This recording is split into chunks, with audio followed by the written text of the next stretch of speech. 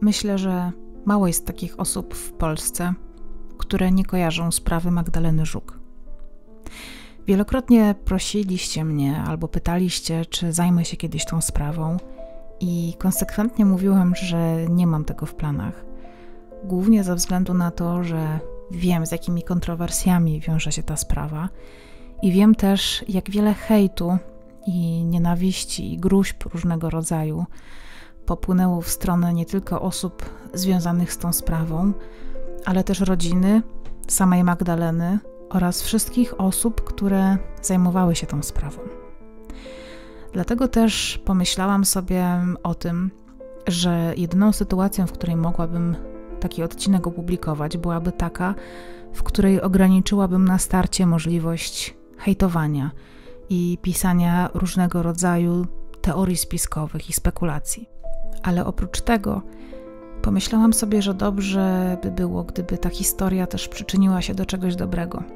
Dlatego połączyłam to w pomysł, jedno i drugie, mm, zrobienia tego odcinka w formie płatnej, żeby już na początku zweryfikować trochę i obniżyć ten punkt wejścia, żeby nie mógł tam wejść każdy, kto będzie chciał napisać coś krzywdzącego o kimkolwiek i czegoś nieżyczliwego. A pieniądze, które z tego mm, tytułu wpadną na konto, chciałabym przekazać Fundacji La Strada, która walczy z handlem ludźmi oraz niewolnictwem. Tak, niewolnictwem, ponieważ jest to problem XXI wieku praca przymusowa, obozy takiej pracy, do których trafiają ludzie zwabieni zagranicznymi zarobkami. Nawet tutaj w Polsce osoby ze wschodu, które przyjeżdżają za lepszym życiem, za chlebem, trafiają do takich obozów pracy. I właśnie na cele statutowe Fundacji La Strada zdecydowałam się przekazać 5 zł z każdego odcinka. Odcinek ten kosztuje 9,90, co już pewnie wiecie.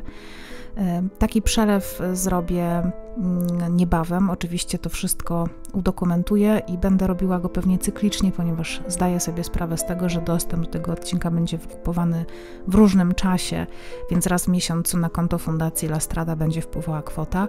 Fundacja jest o tym poinformowana. E, współpracujemy razem przy tym odcinku, opowiadając też historię Magdy Żuk w sposób wyważony, w sposób poruszający większość kwestii, które dotyczą tej sprawy oraz hipotez, które moim zdaniem są prawdopodobne, oraz takich, których w ogóle myślę, że nie powinniśmy brać pod uwagę ze względu na źródło, jakie te hipotezy podaje.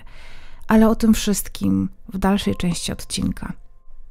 Zapraszam Was do wysłuchania historii Magdaleny Żuk i dziękuję Wam bardzo za wsparcie Fundacji La Strada.